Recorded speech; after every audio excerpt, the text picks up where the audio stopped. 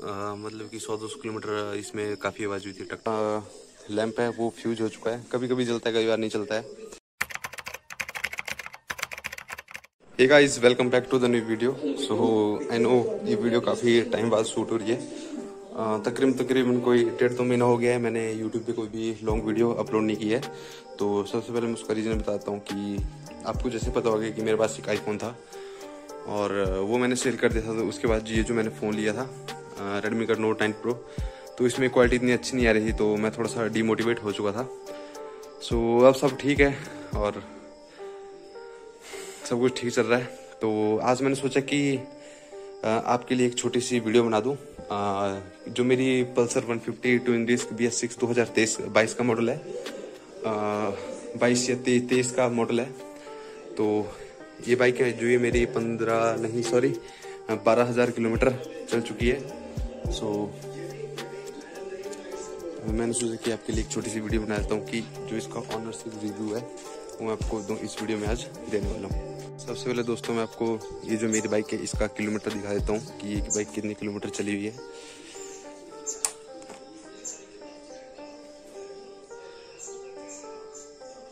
तो अब इधर देख सकते हैं कि जो मेरी बाइक है ये 12,225 किलोमीटर चल चुकी है। सो और इसको एक साल भी हो चुका है। तो इसका रिव्यू मैं आपको आज देने वाला हूँ। सो so, इंजन की तरफ़ से मैं आपको बताता हूँ कि बारह हज़ार चलने के बाद अभी इंजन में किसी प्रकार की कोई भी दिक्कत नहीं है। मतलब कोई भी जो भी दिक्कत होती है जैसे मिसिंग वगैरह जो भी है अभी कोई नहीं है।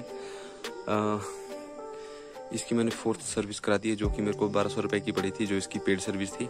बाकी इंजन की तरफ़ से कोई दिक्कत नहीं है और एकदम मक्खन चल रही है और माइलेज वगैरह भी बिल्कुल सही आ रही है। तो हालाँकि बात करते हैं इसके जो सस्पेंसन है मतलब कि ये जो आपकी बाइक के सॉकर वगैरह इसमें कोई दिक्कत है? तो हाँ इसमें जो ये फ्रंट सॉकर है इसमें जब भी जब ये कोल्ड होती है मतलब जब ये बाइक बाइक को चलाने से पहले मतलब एक दो किलोमीटर इसमें यहाँ से कुछ आवाज़ आती रहती है मतलब जैसे ची ची की आवाज़। बल्कि हाँ ऑफ़ रोडिंग में जैसे आपकी बाइक की दो किलोमीटर चलेगी तो आ, एक दो किलोमीटर चलने के बाद इसकी जो आवाज़ आती है यहाँ से वो बिल्कुल ख़त्म हो जाती है, उसके बाद कोई आवाज़ नहीं आती। जैसे आप बाइक को खड़ी करोगे और नेक्स्ट डे चलाओगे तो यहाँ से आपको आवाज़ आएगी। एक और दिक्कत मुझे आई थी, वो था इसका जो ये बाइक का कॉन्सेप्ट है तो ये ख़राब हो चुका था मतलब जैसे जैसे आपकी बाइक के नीचे कोई खड्डा आता है या फिर स्पीड ब्रेकर वगैरह तो ये जो इसका कॉन्सेप्ट यहाँ से एक आवाज़ आती थी, जो कि मैंने सर्विस के जब मैं गया था तो वहाँ पे मैंने इसको थोड़ा टाइट करवा लिया था।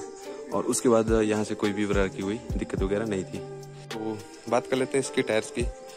तो मेरी बाइक बारह या साढ़े बारह हज़ार किलोमीटर चल पड़ी है और टायर इसके थोड़े से ख़त्म होने वाले हैं। हालाँकि अभी मेरे ख्याल से दस या बीस पाँच हज़ार किलोमीटर आराम से निकाल देंगे। मैं आपको दोनों साइड से चेक करवा लेता हूँ। तो अभी है ठीक है पर यहाँ थोड़ी बहुत कट वगैरह लग गए हैं। पाँच हज़ार किलोमीटर आराम से चलनी पड़ेगी। चेन वगैरह से देखते हैं कि थोड़ी सी हालत ख़राब है। आजकल बरसात है जिसकी वजह से मैं बाइक वगैरह नहीं धो पा रहा हूँ। सो uh, एक बार मैंने इसको पेट्रोल से साफ़ करवाया था। तो uh, मतलब कि 100-200 किलोमीटर इसमें काफ़ी आवाज़ हुई थी टक टक टक। तो मैं आपको यही सजेशन करूँगा कि ये जो आपकी चेन है इसको आप पेट्रोल से बिल्कुल भी वॉश ना कराएँ। हाँ आप इसको डीजल से वॉश करवा सकते हैं। सो so गाइज़ बात कर लेते हैं इसकी जो हेडलाइट है जो इसकी लो बीम वाला लैंप है वो फ्यूज हो चुका है। कभी कभी जलता है कभी बार नहीं चलता है। इसमें सिर्फ़ हाई बीम है लो बीम इसमें नहीं है। मैं आपको स्टार्ट करके दिखा देता हूँ। ये मैंने इधर हाँ, जो एलईडी वाला इसको स्विच लगाया हुआ था मैं आपको स्टार्ट करके दिखा देता हूँ। सो अभी मैं ऑन करता हूँ। तो अभी तो देख सकते हैं कि ये जो लैंप पे ये नहीं जल रहा है। अभी मैं अभी जल पड़ा।